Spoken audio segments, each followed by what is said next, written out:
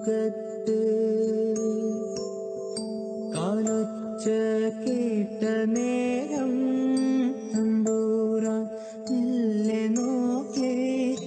ആരില്ലെന്നു തരം ബാക്കിയായി. തമ്പൂ